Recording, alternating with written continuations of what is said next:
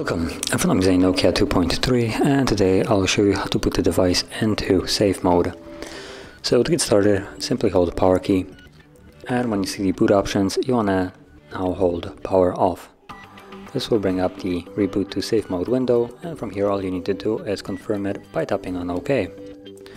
Now the device will power off and then back on and once we're back in Android you will have a watermark in the bottom left corner of the display stating that the device is in safe mode.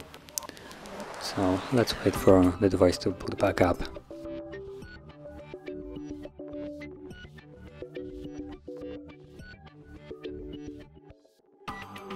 And now that the device is back on, you can see there's the safe mode. Let me just bring up the brightness quickly. There we go. So you can see safe mode.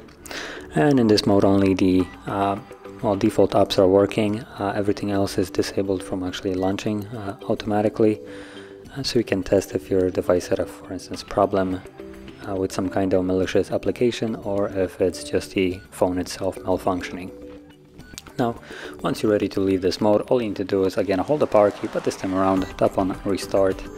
And when the device is back on, it will then be back in the normal mode and the watermark will be gone.